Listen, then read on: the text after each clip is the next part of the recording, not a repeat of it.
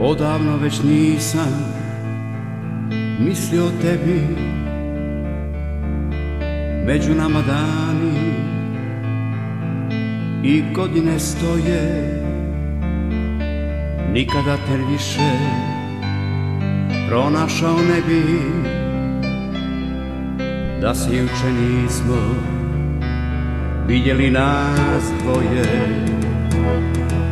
Stigao sam kasno Stajao na cesti I slučajno tebe Ugledao tada. I slutili nismo Da ćemo se sresti Pod svetlima ovog Bezimenog grada Pričaš mi o svemu Hodamo polako Odavno se nismo Isplakali tako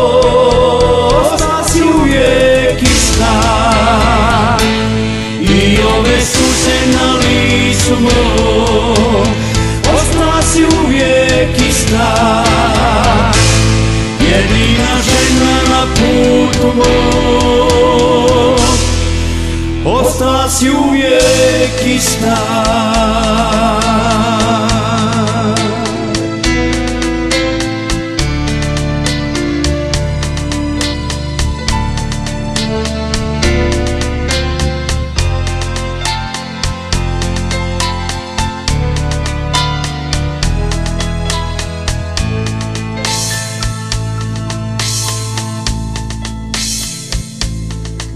Stigao sam kasno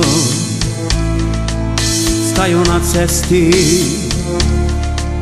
I slučajno tebe Ugledao tada. I slutili nismo Da ćemo se sresti Pod svetlima ovog Bezimenog grada Pričaš mi o svemu Hodamo polako se nismo Isplakali tako. Ostala si uvijek ista. I ove suze na licu moj Ostala si uvijek ista. Jedina žena na putu moj